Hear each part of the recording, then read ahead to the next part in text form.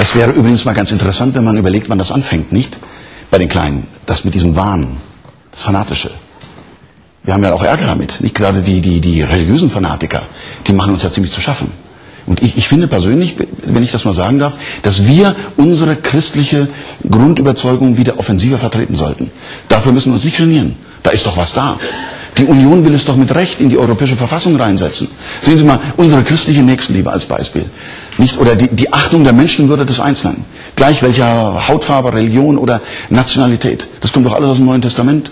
Matthäus Kapitel 35. Nein, 25, Entschuldigung. Nicht wahr? Was ihr einem der niedrigsten und mindersten meiner Brüder tut, das habt ihr mir getan. Nicht? Äh, Herr Kurnatz beispielsweise, dem hätte so ein bisschen Matthäus ganz gut getan. Nicht? Da hätten wir mal so richtig unsere moralische Überlegenheit unserer abendländischen christlichen Kultur demonstrieren können. Nicht das? Ein bisschen verpasst. Schade eigentlich. Wäre eine schöne Gelegenheit gewesen. Nicht? Beim Weltgericht dann später wird Matthäus der einst den Fall Kurnatz aufrufen und dann wird er sagen, ich war euer Gast und ihr habt mich nicht beherbergt. Ich war gefangen, ihr habt mich nicht besucht. Ab dafür. Gut, wobei besucht haben wir ihn ja. Nicht, aber nur um ihm noch eins hinter die Löffel zu geben. Nicht, also die moralische Überlegenheit, die, äh, das ist, sagen wir mal, es ist auf dem Behördenweg ein wenig verloren gegangen. Nicht? Wobei, eins muss man auch sagen, Kurnatz hat einen Fehler gemacht, meine Damen und Herren. Er hätte sterben sollen. Dann, dann hätten ihn unsere selbstgerechten Heuchler in Ehren heimgeholt. Ich bin mir sicher. Wenn so ein Problemfall erstmal tot ist, egal ob gekreuzigt oder erschossen, dann werden alle barmherzig, inklusive Papst. Unser hochverehrter Papst Ratzinger hat gerade frisch begonnen, letzte Woche, einen Befreiungstheologen selig zu sprechen, den er selbst und seine Glaubenskongregation seinerzeit den Todesschwadronen schutzlos überlassen hat. Und gleichzeitig, nämlich auch letzte Woche, hat er einen Befreiungsjesuiten aus El Salvador aus dem Schoß der Kirche entlassen der zufällig dieser Mann ein Schüler des frisch gebackenen Heiligen ist und der denselben Todesschwadron schon zweimal nur knapp entronnen ist. Und was lernen wir daraus? Nur als gut abgehangene Märtyrer sind die Aufmüpfigen hoch im Kurs. Es gibt ja Leute, die behaupten, dass Islam und Christentum aus dem gleichen Holz geschnitzt sind. Aufhören, Herr Dabrowski, aufhören! Ach, Sie sind's. Das ist richtig, was Sie sagen, aber das trifft Sie nicht zu. Ist es richtig? Ja. Sie Sie sind unser Religionsexperte, Herr Becker. Ja. Na, das ist ja, Ja. toll. Ich freue mich auf einen Fachdisput. Ja. Legen Sie los. Sie müssen ja sehen, sehen, der Islam war ja mal die fortschrittliche Religion, nicht wahr? Selbst wir im christlichen Abendland haben ja die drei Grunderrungenschaften der Wissenschaft vom Islam. Ja. Algebra, Dezimalsystem, Döner-Sandwich. Um mal die drei wichtigsten zu nennen, nicht wahr? Und da waren wir hier oben mit der Inquisition zugange, da tobte unten schon die Religionsfreiheit. Nicht wahr? Juden und Christen durften ihren Glauben auf islamischem Gebiet behalten. Nicht wahr? Mohammed sagte, kein Zwang in der Religion. Ja, Moment, jetzt sind Sie aber ein bisschen blauäugig. Dafür mussten die Juden und Christen aber auch Kopfsteuer bezahlen. Ja, das ist so das rheinische Prinzip. Wenn der Umsatz stimmt, ist Toleranz kein Problem. Das ist auch gut. Aber sehen Sie mal, aber dann machen wir, dann, äh, dann macht ja unsere christliche Kirche jetzt was grundsätzlich falsch. Sie kassiert die Kirchensteuer von den eigenen Leuten Ja. und wundert sich dann, wenn die austreten. Ja. Austreten übrigens müsste ich auch, also, Bitteschön. wenn ich, ja. Ja, bitteschön. Ja. Hey, tolle Überleitung. Ja. Ja, Respekt. Ja. Hätten Sie aussparen können. Schwache Blase, ja. äh, aber starkes Argument. Er hat im Grunde recht, es ist völlig falsch, dass die Kirchen, die Kirche von den Christen nehmen müssen, von den anderen nehmen, ja, von den Heiden und den Moslems. Das weil sie schnell die in der Kirche werden, nicht wahr? Man redet zu viel von Ökumenen und zu wenig von Ökonomie. Das war damals genauso. Die Juden und die Christen wurde das zu teuer, dann wurden die auch Moslems. Und der Islam breitete sich schnell aus, nicht wahr? Und Mohammed war der charismatische Religionsstifter und Staatsmann. So, das wäre jetzt hier bei Mohammed. Das haben wir beim Karikaturenstreit gelernt. Von denen darf man sich kein Bild machen. Lassen wir uns dran halten, nicht, dass wir alle in die Luft fliegen. Also, okay. Mohammed. So, jetzt weiß die Geschichte ja aus, wenn ein charismatischer Religionsstifter stirbt, dann geht's erstmal bergab. Da steht schon im Alten Testament, nach einem Willy Brandt folgen sieben Rudolf Scharpings. Hm? Als Mohammed starb, war sein Nachfolger der Kalif Abu Bakr gefolgt von Umar, Uthman und dann kam bereits Ali.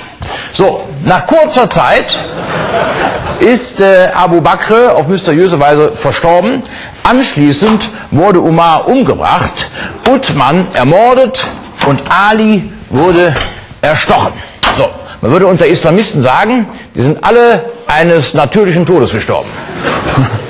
Jetzt gibt es welche, die sagen, Moment, wir sehen also hier, der Ali ist mit der Fatima verheiratet. Nach dem Motto, Frau Fatima, was der meint.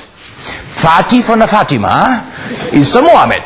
Also ist Ali der rechtmäßige Nachfolger Mohammeds und alles andere ist Shit. Und die das sagen, das sind die Schiiten.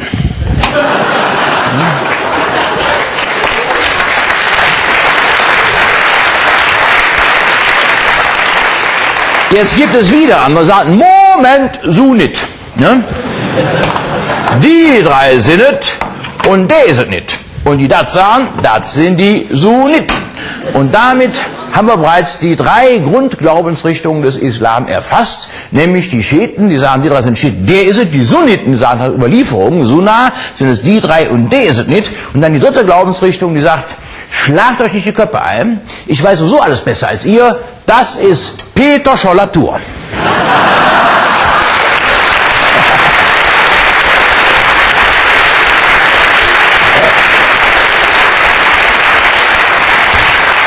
Der kennt sich aus, der hat den Islam erfunden. Ja, also deswegen schlagen sich Schiiten und Sunniten jeden Tag die Rübe ein in Bagdad, da fliegt dauernd ein Bus in die Luft. Aber war der Islam mal der Motor der Wissenschaft? Nicht wahr? Mohammed hat immer verkündet, jeder Moslem ist verpflichtet, Wissen zu suchen. Doch dann kamen eines Tages diese Ayatollahs, Imane und Khomeinis und sagten, nichts da. Alles, was ihr wissen müsst, steht im Koran. Die Wissenschaft sagt, aus A folgt B und die sagen, aus A folgt B, wenn Allah es will. Ja, was will schon Allah? Da können wir lange diskutieren. Folge, jeder fünfte Mensch auf der Welt ist Moslem, aber von 100 Wissenschaftlern bekennt sich nur einer zum Islam. Nicht wahr? Das heißt, wenn die, wie die katholische Kirche immer so gerne gemacht hat, nicht wahr? die Wissenschaftler auf dem Scheiterhaufen verbrennen wollten, nicht wahr? die hätten überhaupt keine. Ja?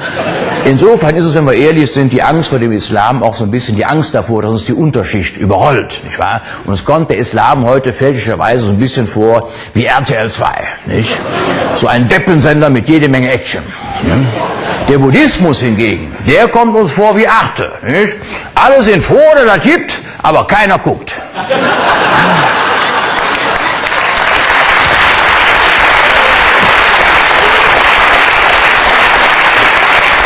Ja, und die katholische Kirche, die Herr Dombrowski eben angesprochen hat, da muss man sagen, die ist ja doch mehr wie das ZDF, nicht wahr? Viele alte Zuschauer und ab und zu mal was für die ganze Familie. Nein, wenn ich äh, überlege, ist äh, die katholische Kirche eigentlich genau wie Wetten das? Ja, das gibt's auch, glaube ich, schon genauso lange, nicht wahr? Wir müssen unterscheiden zwischen Gott Vater und Gott Schalk. Ja? Ein katholischer Moderator als Rauschgoldengel hat die Heiligen der Showbranche auf der Couch, nicht wahr? Und äh, dann immer die Frage, ne, äh, glauben Sie? Nicht? Glauben Sie, dass er es schafft? Nicht? Kann er alle Heiligen am Geschmack erkennen? Ne? Sie über den See laufen, das ist ein alter Hut, nicht wahr? Aber einen Baustellen-LKW auf vier Kölschgläser stellen, das grenzt an ein Wunder. Und wenn er es nicht schafft, da geht Gottschalk als Nikolaus in den Puff. Katholischer geht's nicht.